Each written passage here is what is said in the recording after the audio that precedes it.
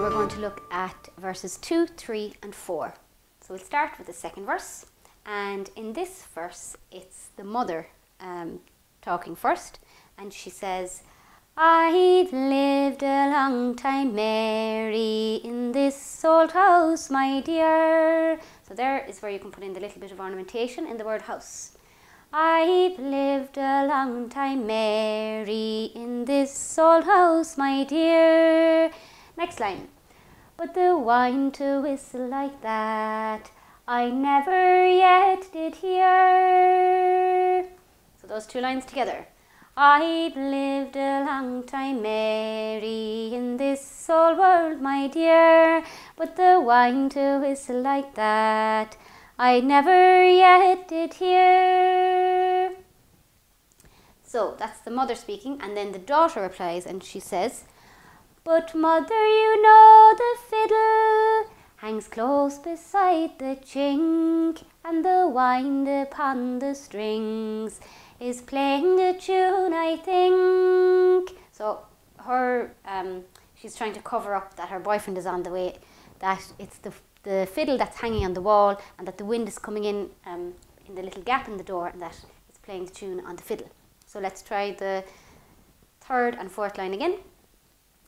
But mother, you know the fiddle hangs close beside the chink and the wind upon the strings is playing the tune, I think. So feel free to rewind, re-listen and just get used to hearing where the ornamentations go. And once you're comfortable with that verse, try and sing the chorus as well as you're um, moving on. Okay, so we're going to move on to the third verse this time.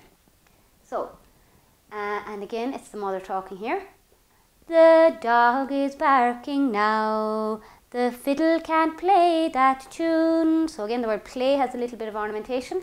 The dog is barking now. The fiddle can't play that tune, play, play that tune. There's three kind of notes there that you're kind of rushing into each other. Uh, next line.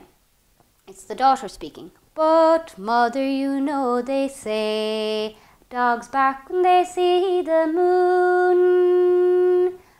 But mother, you know they say dogs bark when they see the moon. Okay, next line.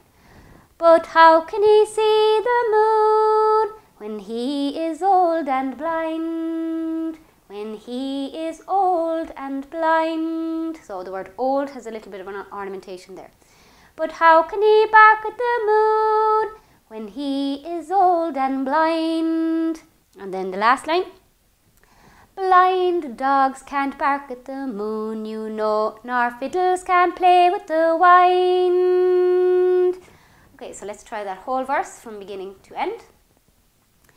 The dog is barking now, the fiddle can't play that tune, but mother, you know they say, dogs bark when they see the moon, but how can he bark at the moon when he is old and blind? Blind dogs can't bark at the moon, you know, nor fiddles can play with the wind. So moving on to the fourth verse, and here is another, um, the mother can hear the pig, and again the daughter is trying to make up all these excuses so that her boyfriend can come up to the house without her mother noticing. So the mother says, Oh, now I hear the pig, uneasy in his mind, but mother, you know they say that pigs can see the wind. So I'll do those two lines again and you can hear the ornamentation. Oh, now I hear the pig, uneasy in his mind. But mother, you know they say that pigs can see the wind.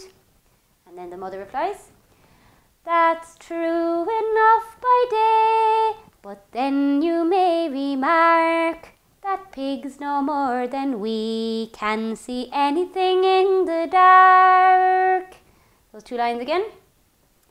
That's true enough by day, but then you may remark that pigs know more than we can see anything in the dark. Okay, so we're going to leave it there for this lesson. Make sure you feel really comfortable with those three verses before we move on to the next lesson where we'll be finishing the song.